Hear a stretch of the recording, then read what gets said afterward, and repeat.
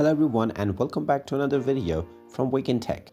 In this video, I'm going to show you how to download the Socratic AI application by Google on your smartphone.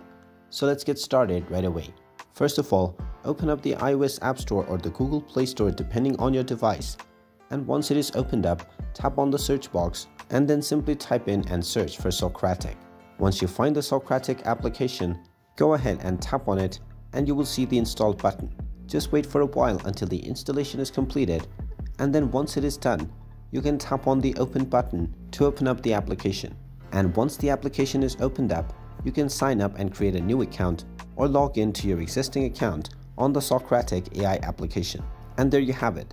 That is how easy it is to download and install the Socratic by Google application on your smartphone.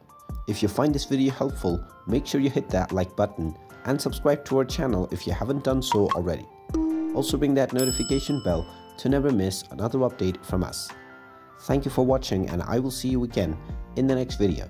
Hello everyone and welcome back to another video from Wake&Tech.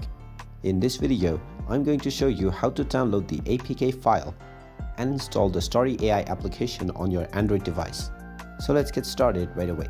If you cannot find the Story AI application on your Google Play Store app if you cannot find the Story AI application on Google Play Store and are unable to install it, then in order to install this, you can also use APK.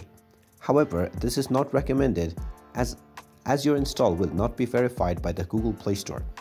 However, in order to proceed forward anyway, go ahead and open up your web browser.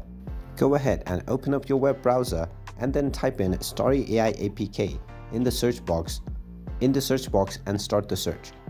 Now from the search results, go through the various links and you will be able to find the APK download link for Story AI. Just make sure that you are downloading from a verified source and then go ahead and proceed with tapping on the download button. You might see a few advertisements, so go ahead and skip through those. And then once your download is completed, you can open up the APK file and then tap on the install button to install the Story AI application on your device. And there you have it. That is how easy it is to download the APK and install the Story AI application on your smartphone. If you find this video helpful, make sure you hit that like button and subscribe to our channel if you haven't done so already. Also ring that notification bell to never miss another update from us. Thank you for watching and I will see you again in the next video.